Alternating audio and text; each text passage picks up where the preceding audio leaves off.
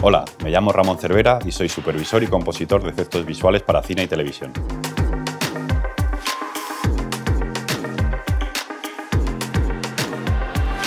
Llevo más de 20 años vinculado al sector audiovisual. He trabajado en más de 75 películas y series, como Oro, El Desconocido, Los Últimos Días o Invasor. Son proyectos que han conseguido nominaciones en la categoría de mejores efectos especiales en diferentes ediciones de los premios Goya.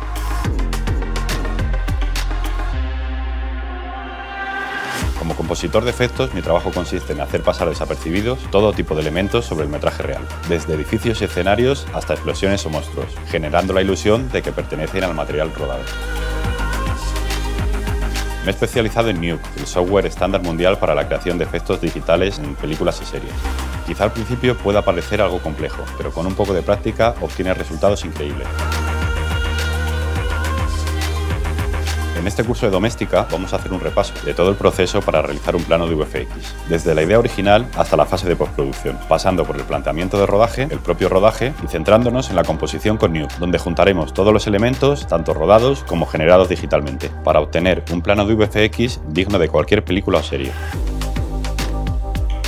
En el curso comenzaremos viendo un poco cómo ha evolucionado los VFX a lo largo de la historia. A continuación pasaremos a ver lo que es el pipeline y el flujo de trabajo que implica una producción audiovisual. Seguidamente veremos la preproducción, que es toda la fase previa al rodaje. Después veremos todas las características que envuelven a un rodaje. Luego analizaremos ese material rodado y repartiremos las tareas a los diferentes departamentos. Continuaremos preparando el material y ya en la fase de postproducción sustituiremos el marcador, cambiaremos la publicidad e integraremos un 3D en nuestro plano. Más tarde, gracias a la rotoscopia, veremos cómo recuperar los elementos que tienen que estar por encima de nuestro 3D. Para finalizar, os daré algunas ideas para que os inspiréis y veremos las posibilidades de renderizado y delivery.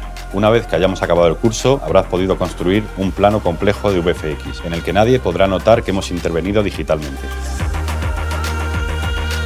Para realizar este curso necesitarás una tableta gráfica y un ordenador con los requisitos mínimos para poder instalar Nuke. Yo te enseñaré a descargarlo, te daré unas nociones básicas y unos enlaces para principiantes. Pero para realizar el proceso al completo serán necesarios conocimientos previos del funcionamiento de su interface.